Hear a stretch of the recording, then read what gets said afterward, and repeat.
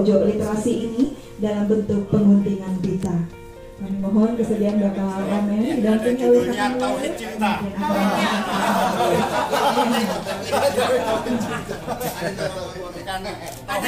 bukan tauhid jatuh cinta bukan.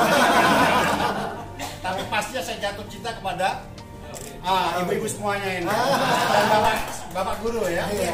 Dan tak ambil tentunya yang punya punya apa inovasi ya prestasi untuk mengembangkan literasi yang saya kira sangat penting ya ini ini bagian bagaimana memotivasi guru-guru agar eh, iya rajin menulis ya Tidak hanya guru, Pak, pejabat juga harus pejabat untuk di lingkungan Iya, Kementerian Agama.